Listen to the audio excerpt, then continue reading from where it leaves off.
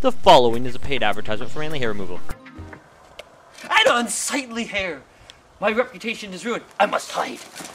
Ben, I need your help.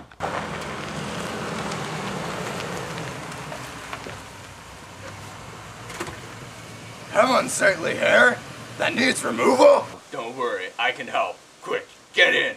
Are you ready? I don't know. Are you ready? What are we gonna do? All right, let's go. Go, go, go, go. Bye. All right. So, for you, my friend, I have the manly hair remover. Really? It doesn't look safe. It's perfectly safe. Really? All we do is How many people have you tried it on? Um, it, nobody's died yet, but then again, you're the first person. Can I back out of the deal? No. Simply place that on your unsightly hair. Ah, ah, right there. I got it. That's your chin. That's where my unsightly enough. hair is. Good enough.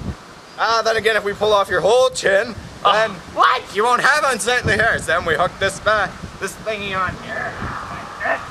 Yeah, yeah, yeah. Okay, come back here. Come back here. Stand here. No, no, no. Here. There. Perfecto. This is gonna hurt a lot.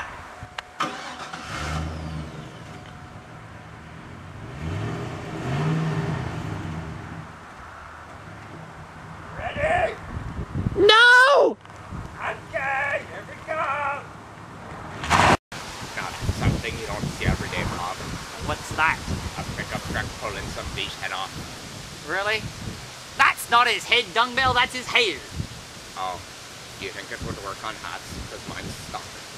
No, I don't think so. Oh, too bad. Whoa! Oh! No! Oh! You ripped off my hair, buddy!